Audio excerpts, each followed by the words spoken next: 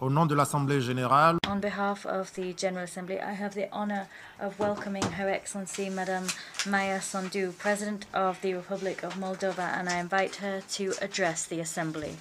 Mr. President, Mr. Secretary General, Your Excellencies, I'm standing before you today proudly representing the Republic of Moldova, a future member of the European Union. I'm grateful for the unanimous support that we received from the 27 EU member states. Thank you for your recognition and vote of trust in our love for freedom, dynamic democracy, and commitment to the rule of law. A successful peace project, the European Union, through cooperation and integration, was forged to stop the cycle of wars that tormented our continent for centuries. This is another watershed moment in our history, and the EU has to do it again. By applying to join the European Union, we want the world to know we choose democracy over autocracy, liberty over oppression, peace over war, and prosperity over poverty. The EU candidate status gives us hope a clear sense of direction, a unifying goal, an anchor, and a strong sense of belonging, belonging to the free world. Ladies and gentlemen, one year ago, no one of us here would have imagined a major war in Europe. Russia's unprovoked war against another sovereign state, Ukraine, has shaken the world to the core, has put to test the fundamental principles of the UN, has shattered global security, triggered a European energy crisis, global food shortages, and an economic downturn. Seven months of bombings have killed thousands of innocent people and pushed millions of Ukrainians to flee their homes. This war is not just an attack on our neighbor and friend, Ukraine. It is an attack on the rules based international order. It is an attack on nuclear safety. It is an attack on food supplies to countries in the Middle East and Africa. It is an attack on this very institution where we find in ourselves today. We firmly condemn the war against Ukraine, as well as the recently announced additional mobilization of troops by Russia. We firmly stand with Ukraine and support its independence, sovereignty, and territorial integrity within its internationally recognized borders. I would like to express my utmost admiration to all Ukrainians for their courage, their resilience, and their inner power to continue to fight this, to do this fight for survival, justice, and freedom. It is our moral duty as an international community to continue supporting Ukraine. Ukraine is fighting today to keep all of us safe, to keep Europe safe. It needs our support. Europe, all of us, we must help Ukraine. As I stand at this tribune, I represent a country that wants peace. I represent the citizens of Moldova who, irrespective of the language that we speak, Romanian, Ukrainian, Russian, Gagauz, or Bulgarian, regardless of our ethnicity or political preferences, whether we live on the right bank of River or in the breakaway region of Transnistria, we all want peace. A country of less than 3 million people, we have sheltered more than half a million refugees fleeing the war. At the peak of the inflow, our population grew by 4%. Some 80,000 refugees chose to stay among us. I use this opportunity to pay tribute from this high rostrum to all Moldovan families who showed unprecedented solidarity with refugees by opening their homes and hearts to those in need. I'm proud of my people. I'm also grateful to the international partners, including the United Nations, who have provided assistance in managing the humanitarian crisis.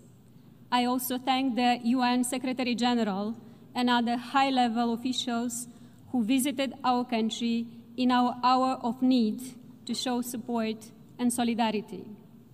My deep gratitude goes to France, Germany, Romania, and other partners for setting up the Moldovan support platform that stands by our country in these difficult times. Ladies and gentlemen, Moldova knows what it is to be a country divided by conflict. In 1992, we faced a brief but tragic war in the Transnistrian region of our country. Three decades later, we are still trying to overcome the consequences of that conflict and reintegrate our country.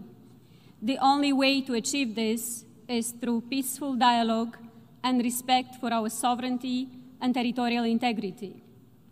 As Russia has launched its war against Ukraine, we have worked harder than ever to maintain peace on both banks of Dnistru River.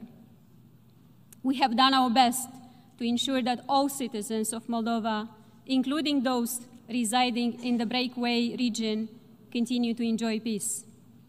The illegal presence of the Russian military troops in the Transnistrian region infringes our neutrality and increases the security risk of our country.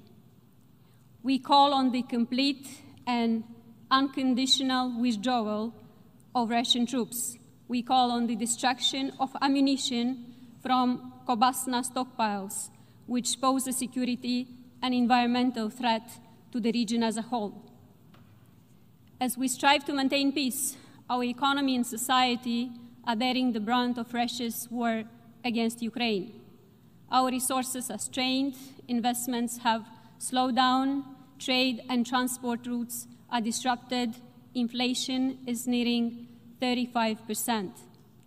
In addition, we're facing a wide spectrum of hybrid threats, from disinformation and propaganda to cyber attacks and energy pressures. The abnormally high prices for natural gas and Russia's attempts at, to weaponize ga gas and oil supplies to Europe have triggered an unprecedented energy crisis.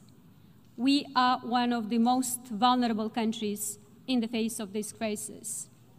But this only makes us more determined to diversify our energy resources and decrease dependence on fossil fuels. We plan to increase the share of renewable electricity supplies from 3 to 30 percent in the next three years. This will make our country stronger and our environment healthier and safer. Distinguished audience, we all know that the only way to save the planet is joint global action against climate change.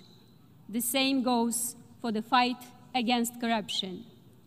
Corruption weakens states and erodes democracies.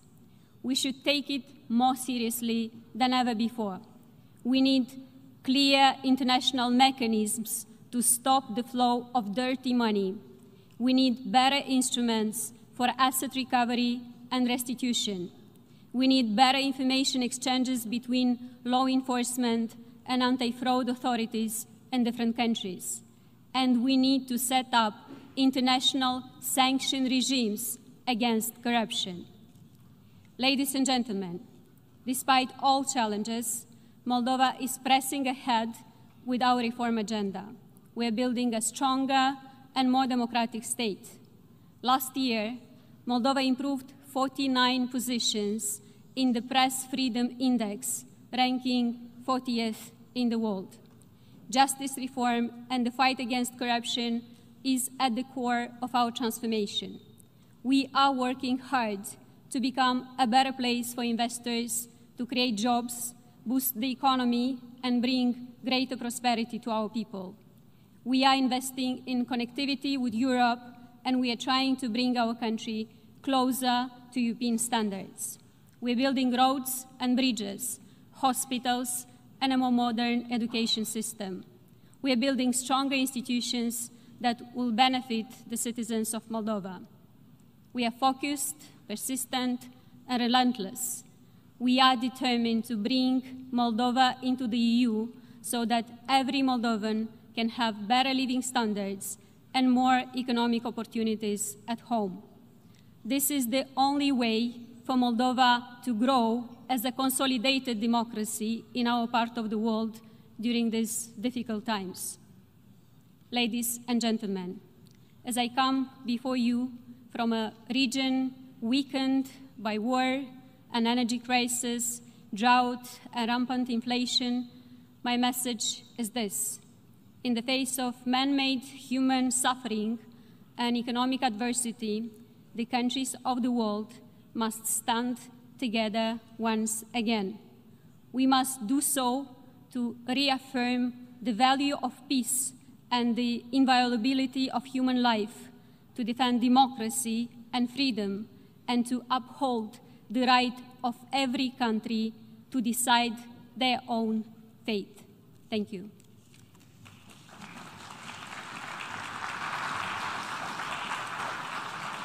Au nom de l'Assemblée générale. On behalf of the General Assembly, I wish to thank the President of the Republic of Moldova for her statement, and I